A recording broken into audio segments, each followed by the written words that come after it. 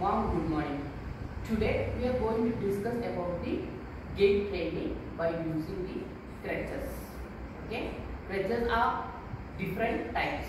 Okay, this is axillary crutches, and we have elbow crutches and forearm weight bearing crutches like that different types of crutches. We are using only axillary crutches, and axillary crutches is having an axillary pad a hand piece and an adjustable foot piece and foot piece and a rubber piece. Okay. So before starting the gait training, we need to get the crutches according to the patient's height. Okay, it will be different. The market it is available in small, medium, large, and extra large sizes, and we have only medium size available with us. Okay, so we will see. We need to adjust the foot piece according to the length of the patient by using this tip. Okay, we can just see it, it up or down, and we need to make sure that this is getting pinned in the hole. Otherwise, the way by parking, by putting the patient weight, it will get pressed down. Okay, see this is the button hole and the Okay, and this is the hand piece. This also we need to adjust. When the patient is standing, his wrist need to be here. Okay, the in the hand piece. So the elbow will be bent for 30 degree, like around. Then only we will be using the leg. And this axillary pad should be three finger width from the axilla. So we will keep it here like 6 inch front and 6 inch away from your body. This is the position of crutch walking, tripod position we are using. And so we need to see this three finger down from the wrist. This is not my size, we see it here. Okay? See, this should be 6 inches away from the in the diagonal okay? From here and from here. Front side view okay? And see the axillary pad should be three finger. Need to go otherwise the axillary uh, nerves and muscles will get compressed and then we see the problem. And the patient should hold it like this. And we can adjust the hand piece also if it is not in proper position by removing this and taking it out and then keeping it here there is three four holes. So we can adjust according to the patient needs and then we need to tighten it again and make sure that all the nuts and bolts are tight before starting. Okay? Now we will see how to get up by using the crutches okay see to use it in the ground okay and I am going to walk to the crutches. So I have to get up from the chair or bed or whatever before starting and my crutches are somewhere over here or down. I am just taking my crutches and holding the hand piece and then by using the other hand I am using my one leg normal leg and instead of the weak leg I am putting the weight over here. Okay? And then standing up. And just moving it. And then going for walk.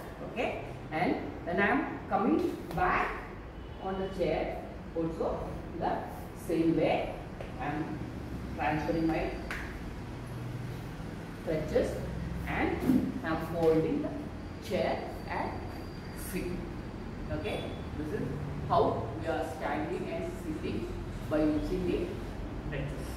Okay.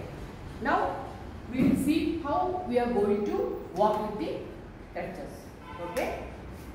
By using the crutches, there are different types of gait training. So one type of classification is that two point, three point, four point gait training. and one classification based on the weight bearing status. Okay, it may be non-weight bearing, partial weight bearing, or full weight bearing, or toe touch, like that, according to the doctor suggests the surgery right, or whatever so orthopedician or whoever is referring you to the patient, they will tell how much weight they can put on the injured leg. So according to that, we are doing it. Okay. So first, I will show you how we are using the crutches with non-weight bearing gait training. Okay. So for that, see, I'm, this uh, crutches is not of my size, but I'm just showing it. And my right leg is not supposed to weight. It's non-weight bearing. And see, the this is the tripod position, around six inches away from my foot. Okay, and I'm just this is my crutch, just moving it. Okay, see, this is non-weight bearing. Okay, and I can turn. See.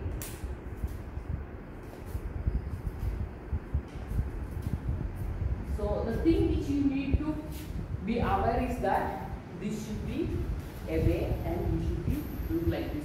And you should hold your crutches with elbow also toward your body. Okay, and you are not supposed to lean like this. This will cause axillary nerves and vessels compressed and then we give the problem. So it should be like that and you should be straight and then see this is non-weight bearing training. And we need to do the partial weight bearing gait training, we are and my leg uh, right leg is injured and now I'm uh, my doctor told me that to do you can use some weight on your leg or half weight or toe touch whatever it may be. So I just keep my this and my normal leg and I'm putting my weight on my hands and very little only on my right leg. And then I'm keeping this okay? Doing that and then I'm keeping toe touch or little weight on my right leg and I'm using it okay? See? Toe touch okay?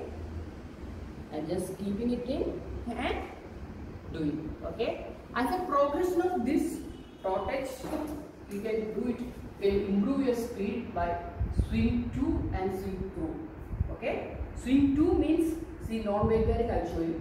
Swing to and okay? Just i am taking a small step this is the crutch leg okay? Into the crutch leg okay?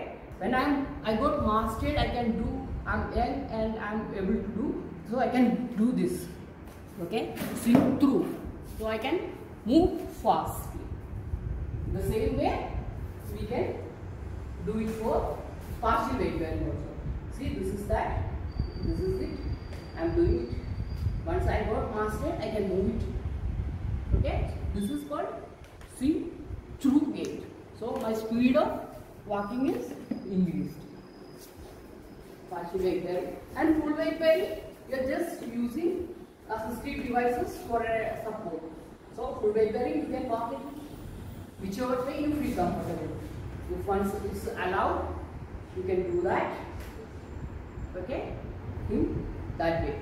So if it's a yeah i told about the two point and three point gait training no? So if it is two point means see this is one this is two.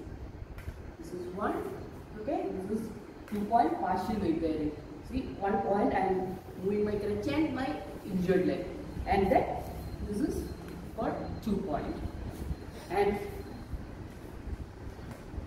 see this this is three point see one two three okay this is three point.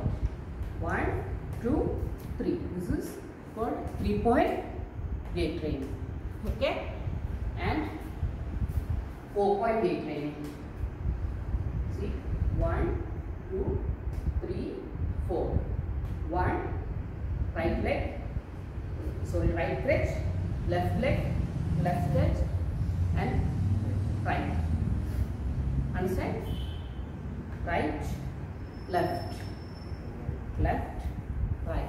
This is called four point gait training. So now we discussed about how to measure the crutches, sitting and standing, and two types of classification of gait training. Two point gait training, three point, four point gait training. How the position of the crutches on the ground and swing to and swing through according to the speed swing to and swing through this is the faster type and according to the weight bearing we have learned non weight bearing partial weight bearing and full weight bearing. Is it clear? Okay thank you. Now raj will demonstrate for us how to stand from sitting by using the crutches. His right leg is injured and it is not supposed to use weight. So see how raj is going to get up. As I shown you may be uh, not able to see because of my dressing so now you will be able to see properly. See how to stand. Good. And sorry my dear students uh, the crutches size is very small for our Raj. Okay? This is the way how to stand by using the crutches and how to sit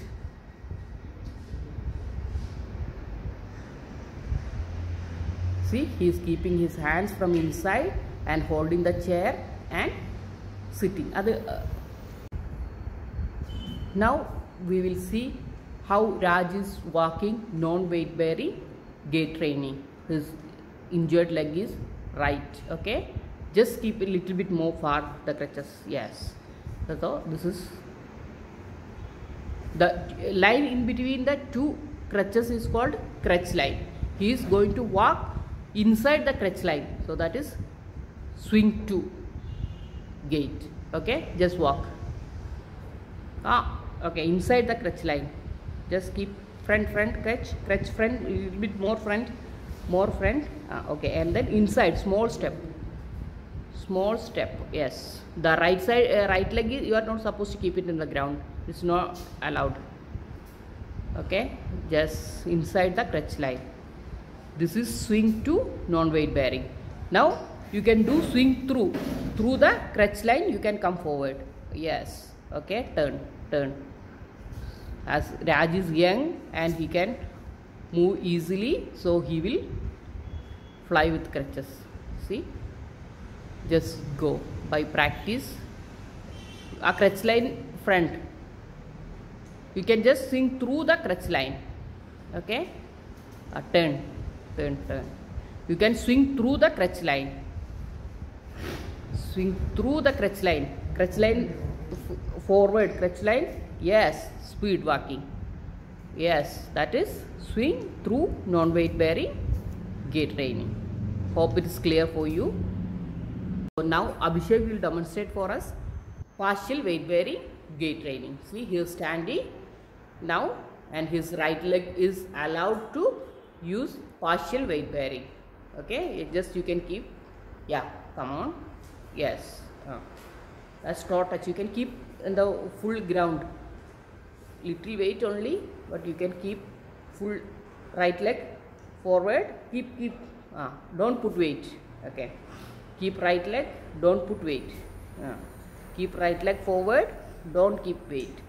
See? And then turn slowly. Turn and move. Yes. Yes. The thing you need to notice is that the crutch should be far okay?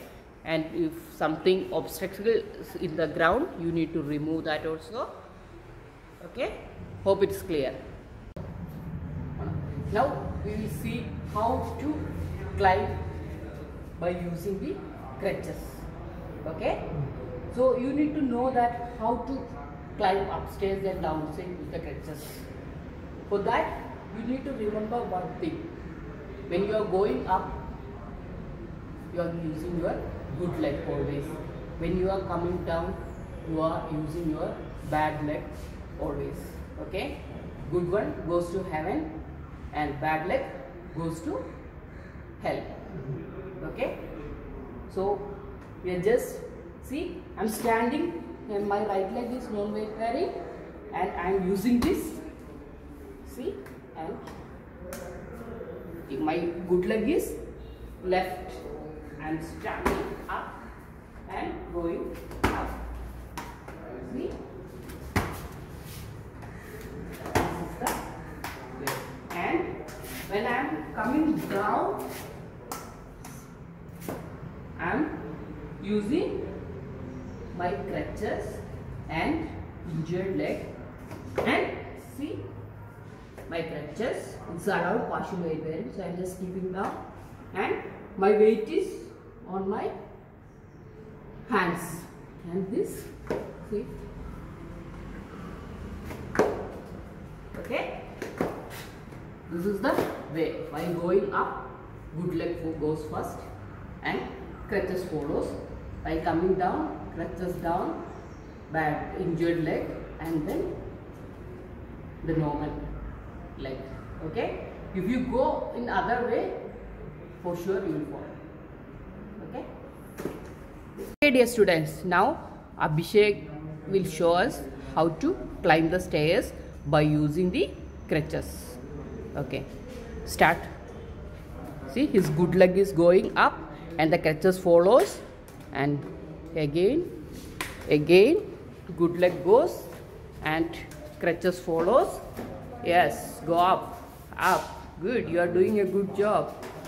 Good yes. Take care. Good yes. Stand down. So while coming forward he is keeping his crutches and injured leg down and then he is taking his normal leg. Crutches down good? Yes very good. Good.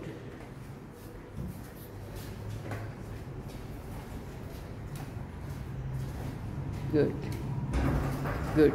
If you have crutches at home try to practice